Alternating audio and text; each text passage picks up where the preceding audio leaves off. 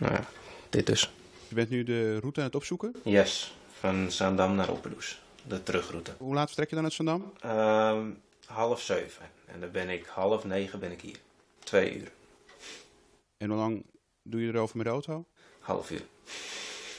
Dus dan ga je niet met het openbaar vervoer. Nee. Bruce Blanchard woont in Opperdoes en werkt vooral in Zaandam. Met het openbaar vervoer een omslachtige onderneming.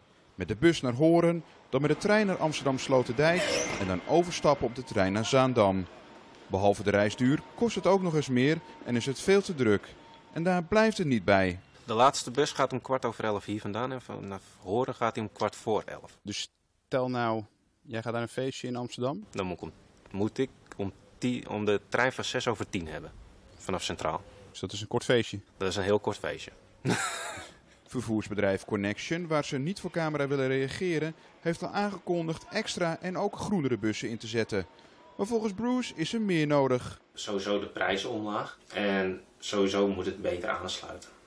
Want de geruchten die ik hoor bij de NS, vanuit de NS en Connection is dat de NS met een 10 minuten dienstregeling gaat rijden. En die aanpassing houdt in dat uh, de dienstregeling eigenlijk dusdanig verslechtert dat eigenlijk helemaal geen optie is meer om met het OV te gaan.